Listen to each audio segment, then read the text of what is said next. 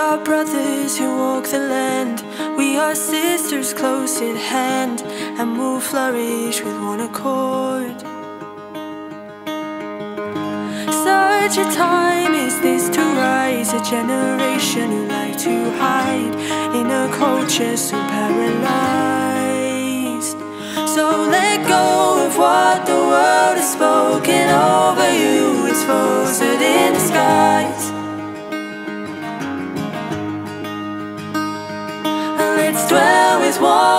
mother is worth more than inanimate lifestyles.